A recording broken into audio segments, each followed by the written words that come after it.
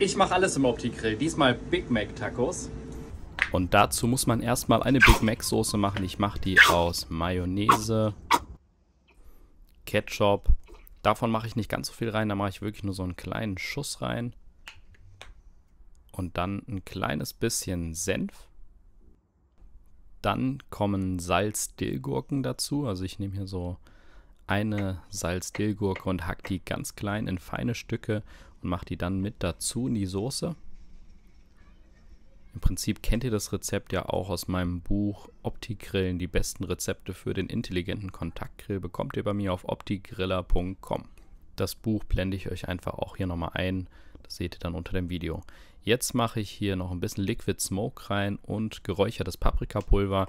Da habe ich das Rezept jetzt ein bisschen abgewandelt, sonst mache ich das ein bisschen anders. Ist aber auch so sehr lecker. Jetzt habe ich noch Pfeffer dazu, bisschen Salz und dann passt das schon. Jetzt rührt ihr das schön um. Also ihr könnt da auch wirklich ein bisschen variieren. Ihr müsst da nicht mal eins zu eins bei dem Rezept bleiben. Ich grad, fand gerade diese Liquid Smoke Variante, die macht das nochmal ein bisschen mehr Richtung Big Tasty Soße. Jetzt könnt ihr natürlich von der Soßenkonsistenz das Ganze noch ein bisschen variieren oder noch ein bisschen mehr Geschmack reinbringen, ein bisschen mehr Säure, indem ihr hier quasi von dem Gurkenwasser so einen kleinen Schluck mit reinschüttet, das dann mit untermischt und das passt auf jeden Fall sehr gut. Also immer diese Kombination aus Fett und Säure passt ja eh immer sehr gut im Kontrast.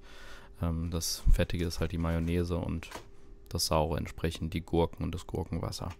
Jetzt braucht ihr Wraps. Wichtig, nehmt die kleinen Wraps aus dem Supermarkt, denn die großen passen nicht in die Backschale rein.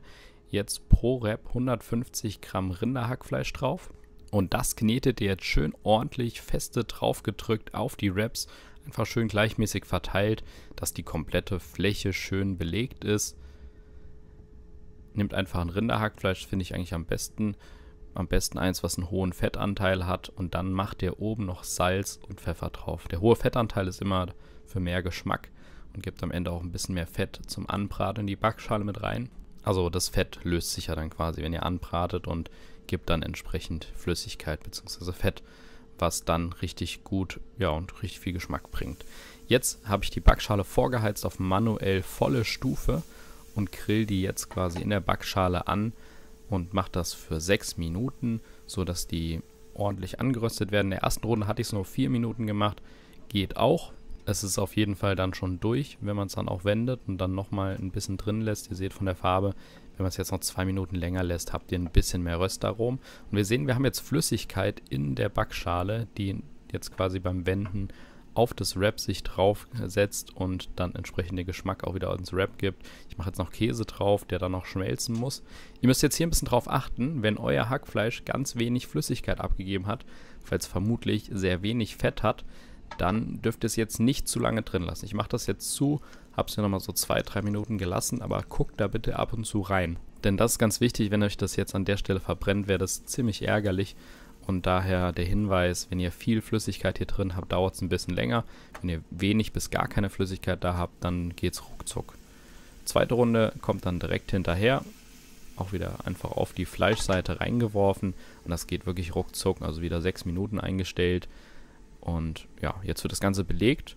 Da könnt ihr natürlich beliebig belegen, aber ich finde so auf einen Big Mac gehört auf jeden Fall hier der Eisbergsalat. Oder heißt der Kopfsalat? Kopfsalat, glaube ich, ne? Ne, Eisbergsalat. Und dann die Big Mac Soße und rote Zwiebeln habe ich auch noch drauf gemacht. Die Gürkchen sind ja schon in der Soße drin, sonst könntet ihr die auch noch extra drauflegen. Ich würze jetzt immer noch mal ein bisschen nach, ein bisschen Pfeffer drauf. Und dann ist das fertig. Es wird ja zusammengeklappt und guckt euch an, wie sensationell das aussieht, auch außen. Da ist schön der Wrap außen mit Geschmacksträger, schön angebrutzelt worden mit ein bisschen Fett von dem Rinderhackfleisch. Und das schmeckt richtig, richtig gut. Das ist auf jeden Fall eine schnelle Variante, ein Big Mac Sandwich zu machen. Big Mac Sandwich kennt ihr ja, ist ja auch ein cooles Rezept im Opti-Grill. Aber hier ist das Ganze nochmal ein bisschen einfacher, weil es wirklich deutlich schneller geht und vom Geschmack sehr ähnlich ist und ihr habt weniger Brotanteil. Also das finde ich eigentlich ganz cool. Also das Ergebnis gefällt mir sehr gut.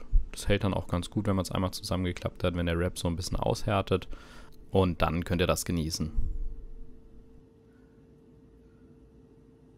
Jetzt mache ich für euch natürlich noch den Geschmackstest, ob es wirklich so gut ist wie erwartet.